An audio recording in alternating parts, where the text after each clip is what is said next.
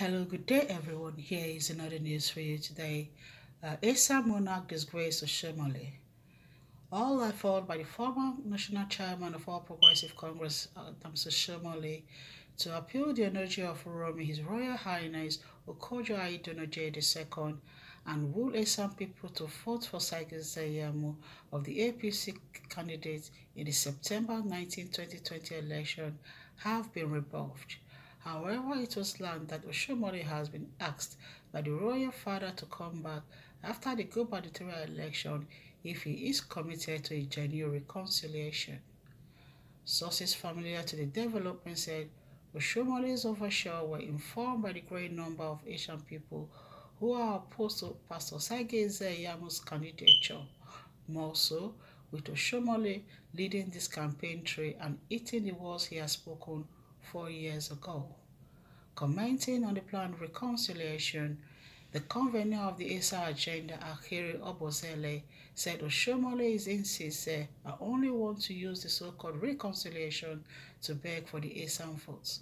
He added, so Oshiomhole has just realized that what what he did to our Enogie four years ago was wrong, with less than two months to the gubernatorial election.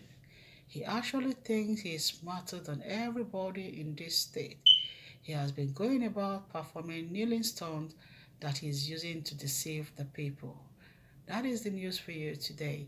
Uh, Oshiomhole was actually humiliated in the palace of the Enogie of Uromi, His Royal Majesty Aidonojie II, owing to the fact that he actually humiliated and suspended the, the Noje few years ago for one year.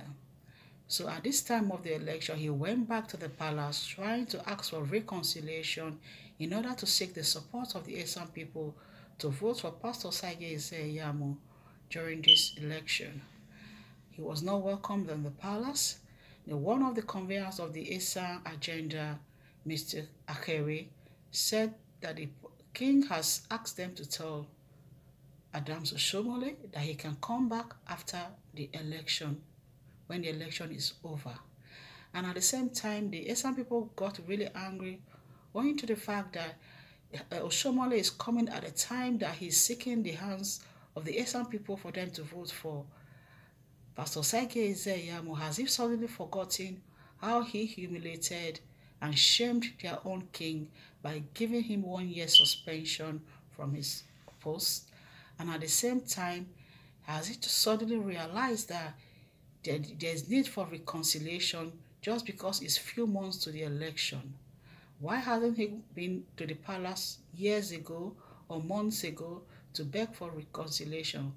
Does it have to be an immediate thing for them to reconcile just because of the election?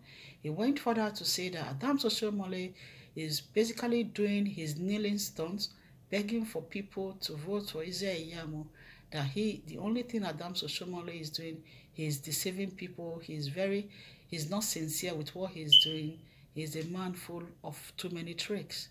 So from the look of things, they have actually made their mind up not to give their support and their vote to Pastor Saige Iyamu because they are still holding much grievance about what he did to their king by suspending him while he was in power. That is the news for you today. Kindly leave your thoughts and your comment in the comment box. I will appreciate if you can share this article. Thanks so very much for listening and do have a great day. Bye.